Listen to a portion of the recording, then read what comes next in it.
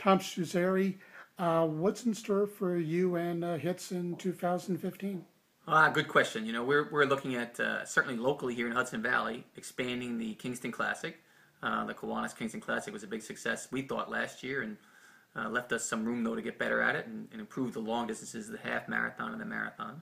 We've had the triathlon here in Kingston that's going to go uh, right up Broadway. That's exciting for us, and that'll be a fun one to do, and that'll include a uh, an Ironman distance, so a big a big long race there is, is one of the distances. So that's that's part of our growth this year for our endurance business.